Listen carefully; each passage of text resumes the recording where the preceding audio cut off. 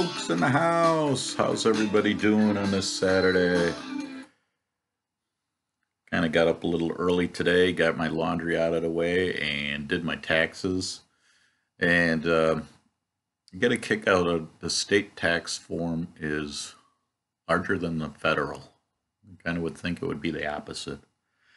Um, I just feel one thing with the taxes. I think it's I don't know. I, it doesn't just me. I think you should get something from the the government saying this is what we know you owe, or this is how much we owe you, and then if you want to dispute it, or then you go fill out the forms. I I don't know. I just feel like there's something there that they know how much you have or ha- got or whatever or what they owe you, and um, I, I just think it's something that could maybe save some time or effort on for some people. I know there's people that, that they're doing every deduction in the world. And then my other uh, scenario is I think you should get a credit or uh, some kind of deduction for um, if you're able to do your taxes on your own. I feel that's, you know, you've accomplished something. So, you know, what the heck? I mean, for what the credits and stuff they have out there, why not? Have something that if you're able to do your taxes, you should be able to get a little reward for it. Just me talking out loud.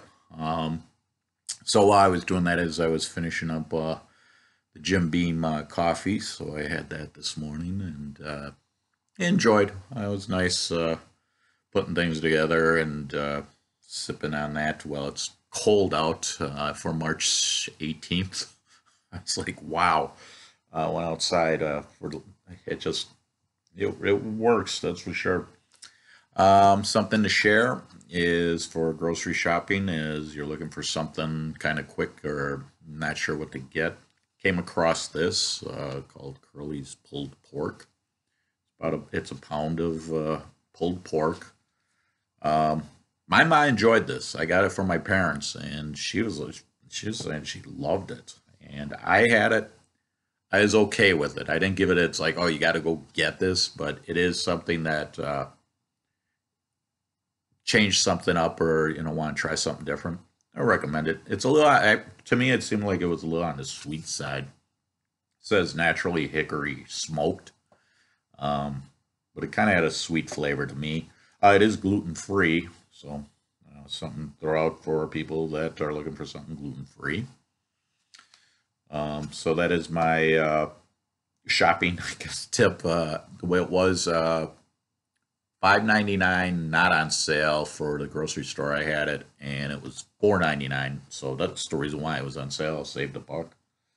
Pound of uh, pulled pork for four ninety nine. Gave me leftovers for a couple days. Uh, one day I put it, made sandwiches, and the other uh, had some soft tacos, pulled pork, and it, it worked out. It was good.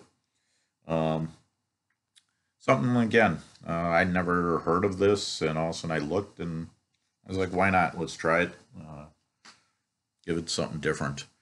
Um, sports wise, UWM, they're in a losing streak on baseball. They're seven and nine, so hopefully they can turn things around. Um, first home game, I think, is this Tuesday against Concordia Mequon. Um, it's going to be, I think, in the 40s, so not the best uh, baseball weather. And then uh, UWM basketball, they're playing in the CBI tournament and playing Stetson tomorrow at 4:30. Um, so they get to, you know, hopefully get a little, a little national attention. Uh, you know, one of these off tournaments besides March Madness. Um, and the movies I have uh, have a mini series and then two movies from the 70s.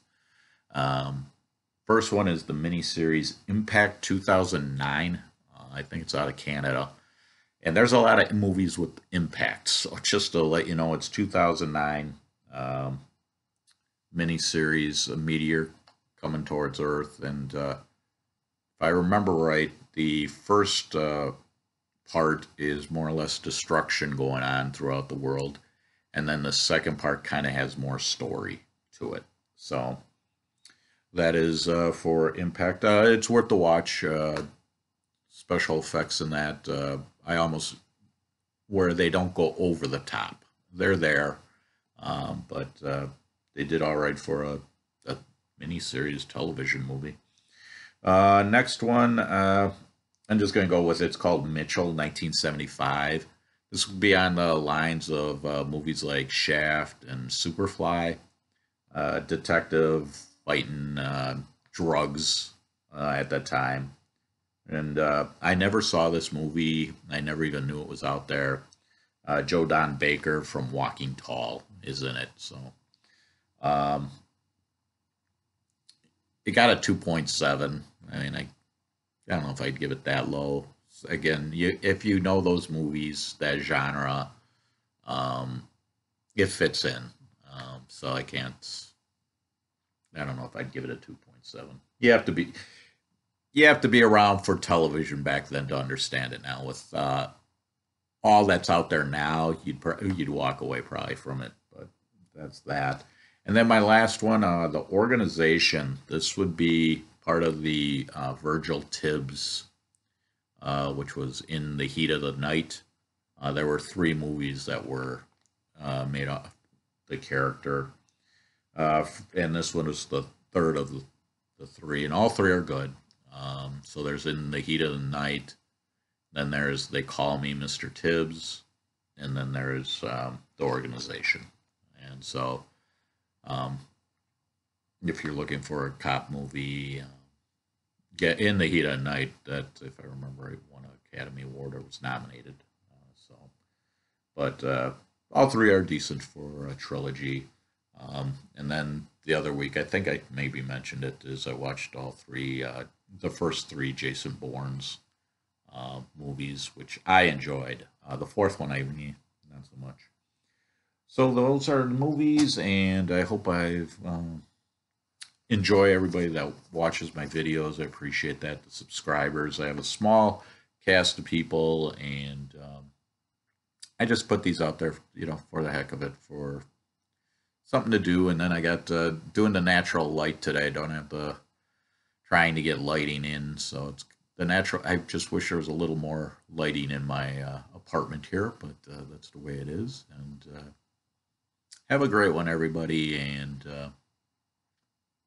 Enjoy.